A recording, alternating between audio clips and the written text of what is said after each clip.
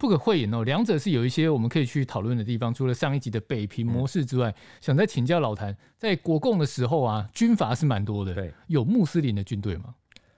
民国时期出现过一批信奉伊斯兰教的穆斯林军队，最有名的就是西北马家军。他们成名很早，一九三七年年初，曾在河西走廊地区几乎团灭了两万多人的中共红西路军。到了国共内战的时候，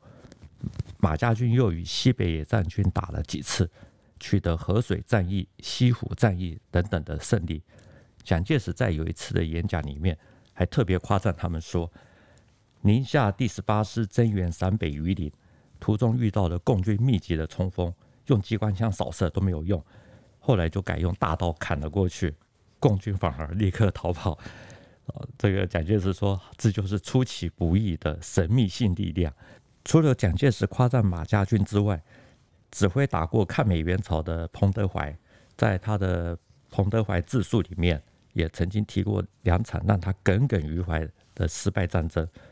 都与马家军有关，所以那个时候马家军的战斗力应该是获得双重认证。到了一九四九年八月，国共兰州会战前夕，马家军一位二十一岁就升为副军长的超级帅哥，他在决战前夕呢，他就在司令部挂了一副对联啊，上面写着“往狂澜于既倒，定乾坤于西北”。他就是曾经让彭德怀吃足苦头的马继元，只是这些信奉真主的军队喊着天堂向前冲锋，却遭到毁灭性的打击。从此之后，他就这个这支部队就走下了历史舞台。马继元后来他就来到了台湾，当了一个那种类似闲差的中将，后来还移民到。沙地阿拉伯最后在二零一二年的时候客死异乡。国共内战打到一九四七年，国军从全面进攻转成重点进攻，集中兵力先优先啊，就是对付陕北还有山东的共军。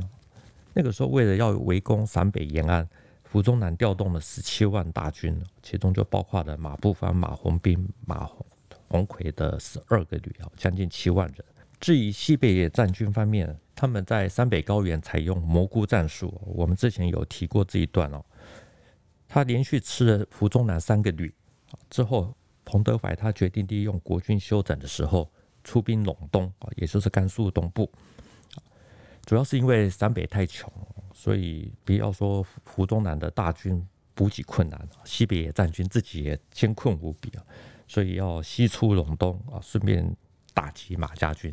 不料一九四七年五月啊，西北野战军在甘肃河水与马家军接触以后呢，吃了大亏。这也是国共内战以来啊，这个国军少数啊，这个赢得的胜利之一。那这一场战役有什么特别的地方？除了马家军之外，河水城是一座小城，它在咸阳西北啊。青马的整七八旅呢，在这个地方呢，挡下了。西北野战军的三五九旅啊，这是很不可思议的，因为王震的三五九旅是王牌啊，在抗战的时候呢，在南南泥湾屯垦啊，作为沿岸的卫戍，之后又曾经南下到湖北、湖南一带啊，然后回来的时候呢，又经过了中原突围啊，经闯过了国军数道的封锁，理论上是一个是就是身经百战的部队。那西北野战军在打河水的时候呢，也是按照以往的作战方法，就是挖壕沟就向前推进，然后就靠着刺刀还有手榴弹逼近对方的外壕前沿。可是呢，马家军他们就预伏在城内的守军，就通过了暗道杀了出来，每一个人都是精熟刀法，呃一阵砍杀。三五九旅的七一七团还有七一九团哦，竟然就因为伤亡过大。只好撤出战场，重整之后又多次攻击，全部失利。既然打不下来，西北野战军就改为打援啊。那前来救援的青马整骑八旅呢，在抗战的时候曾经驻扎在河南东部，与日军多次交手，有一些威名，所以日军就称呼他们为马回回军。这支援军呢，有一部分在靠近河水城的时候被围。他们看到的无路可退，于是就把枪支全部都丢到地上，然后高举双手投降。当解放军要靠近受降的时候呢，这些骑兵呢突然之间就抽出随身佩戴的那马刀，就近距离的开始反冲锋。共军根本没有料到说有这一招，就死伤惨重。前来救援的马家军呢，他们也有骑兵，就预先埋伏在废弃的窑洞内哦，就是里面就挤了一些几百两百人，然后就有两三个人就在窑洞外面就摇白旗，然后吸引共军啊上来这个要受降。等到这个人接近了以后呢，里面的这些骑兵呢就全部都冲出来。也是一样，就是挥舞马刀，那结果你也大家都可想而知。总之，三五九旅不管是围点还是打援啊，都遇到了罕见的对手。担任三五九旅政委啊，那个时候也参加过中原突围的王恩茂啊，在他的日记里面都还特别提到说，打这场战争啊，损失很惨。所以这个马家军不只是打仗打得很，他其实很有技巧，很有战术，是是是。那这个是你前面一开始提到说蒋介石夸赞。他们用大刀去砍杀数百共军，就是这一场战役吗？呃，不是，河水战役是青马打的。老蒋说的第十八师增援陕北榆林哦，那个是宁马，宁夏马家军。这场战役呢，是一九四七年十月下旬，西北野战军发起第二次榆林战役啊。宁夏王马鸿逵接到命令哦，说要去救援，所以他就派他的师长儿子马敦进。带领整编第十八师去救。十一月中旬呢，在靠近榆林四五十公里的地方，就有一个叫做袁大滩的的一个沙漠地区，遭到了阻击。虽然宁马的战斗力不如青马，共军又是夜间作战高手，可是第十八师啊，他们还是可能还是能够撑得住，就是打到了拼刺刀、铁锹，就全部都用上了。虽然有两个阵地丢了，可是。这个整个部队没有溃散，老蒋讲的应该就是这场战役。总之呢，我们现在看到很多说法，大部分都是说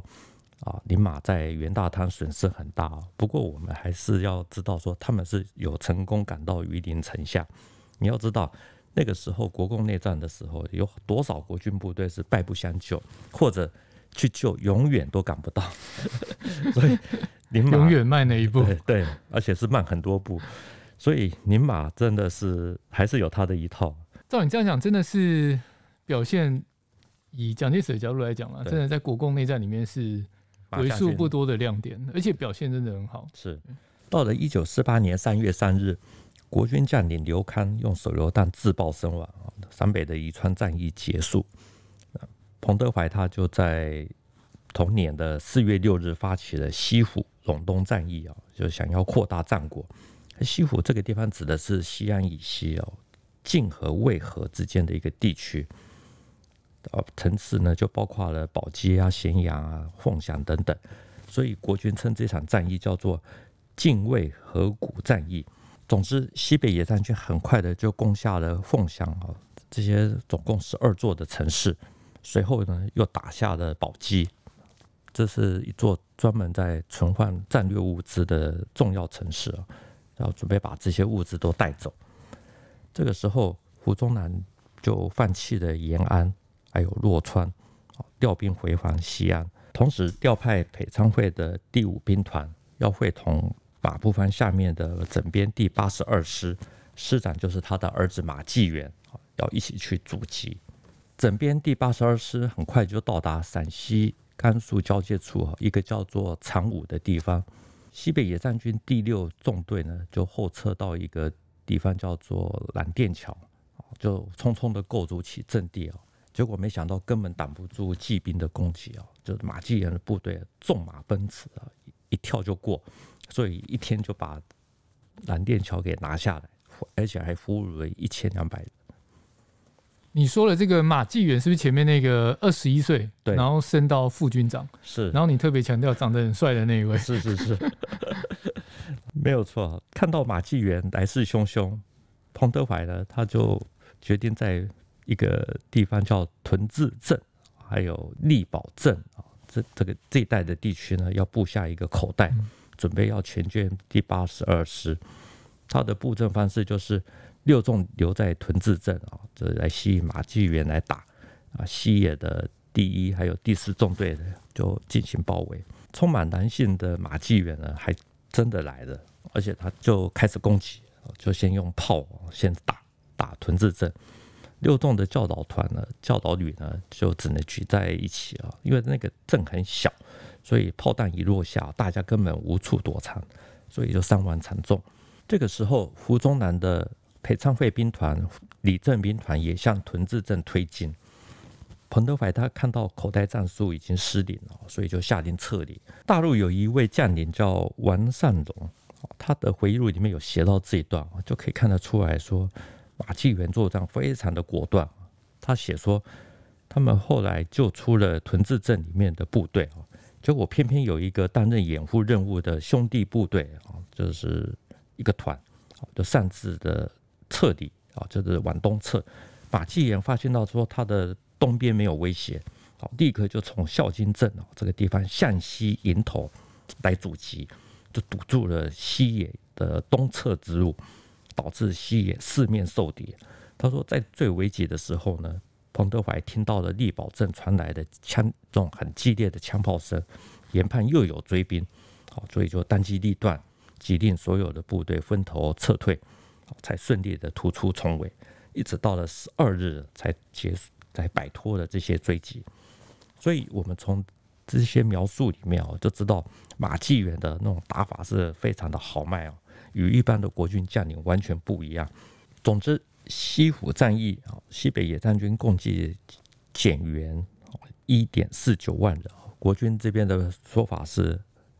西北野战军损失了三万人啊。不管怎么样哦，这个 一万五跑不掉。